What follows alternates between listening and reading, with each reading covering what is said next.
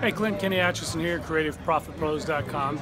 Just want to let you know I read your book, uh, Break Through Your Upper Limits on TV, and right away I got uh, I got booked on TV, actually in a big city in San Antonio.